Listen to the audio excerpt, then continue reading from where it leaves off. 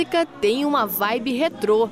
Os movimentos são compassados e trabalham, entre outras coisas, o equilíbrio. As alunas são bem experientes.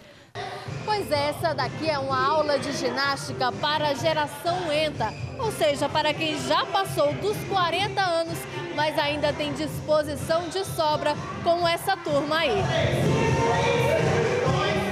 Há nove anos, esse educador físico resolveu trabalhar com o público da terceira idade. E assim surgiu o projeto Viver, que funciona em uma academia do bairro Alto Branco.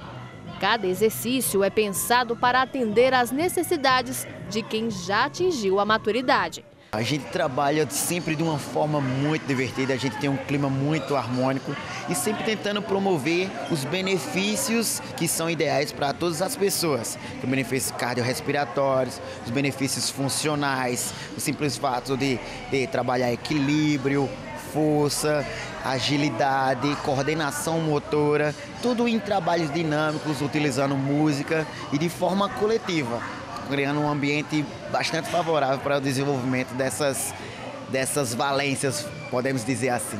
São 30 alunos e as aulas acontecem três vezes por semana. Dona Maria do Socorro, que hoje é só energia, não suportava a ideia de frequentar uma academia. Mas agora percebe os benefícios depois que conseguiu, através da atividade física, reduzir os incômodos da artrose. Eu melhorei tanto do joelho como da coluna. Hoje eu estou me sentindo outra pessoa e adoro quando vim para cá. A ginástica coletiva favorece ainda a convivência. Quando não está em aula, essa turma aproveita para colocar a conversa em dia. Dona Albanita procurou a academia justamente para fugir da solidão, logo depois que se aposentou. Eu estava sentindo falta de um convívio mais animado. E vim porque gostei, estava precisando também ter mais flexibilidade, andar mais, né? Eu tinha uma vida muito ativa na universidade e de repente eu fiquei um pouco mais parada em casa, mas depois desse momento nunca mais deixei essa academia. O que a senhora acha que mudou na sua vida desde que a senhora passou a vir para cá? É, a minha vida mudou porque eu fiquei mais só em casa, depois eu perdi meu marido também, que era da academia também.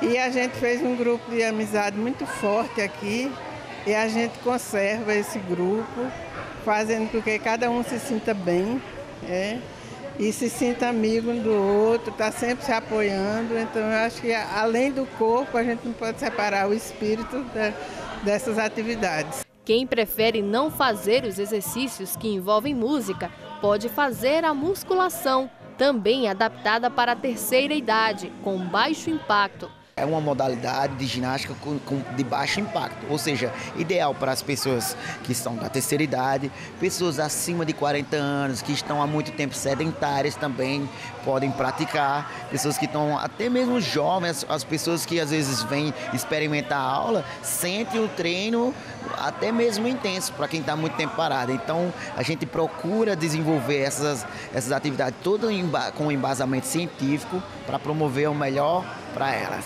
E foi a musculação que tirou seu Sebastião do sedentarismo aos 90 anos de idade. Ele é tímido, não quis dar entrevista, mas a esposa dele, Dona Conceição, fez questão de contar todas as mudanças positivas que aconteceram na saúde do marido. Ele não andava, ele, ele, apesar de ser uma criatura assim de um espírito muito avançado, muito calmo, muito brincalhão, mas ele tinha uma dificuldade muito grande para andar, para se comunicar, porque ele às vezes ficava assim triste porque não conseguia andar. Os médicos não descobriam o que ele tinha e por isso deixava ele um pouco nervoso, sabe, sem coragem.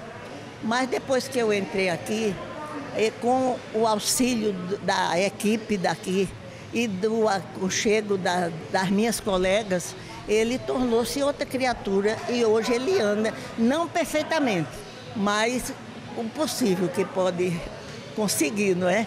E por isso eu sou muito feliz. E para quem ainda está só em casa, naquela vida sedentária, seja jovem ou idoso, aí vai o recado sem a gente procurar, sem fazer força, sem se esforçar de procurar alguma coisa, alguma melhora na vida, a gente não encontra. ficar em casa esperando que, que bata na porta, isso não é possível.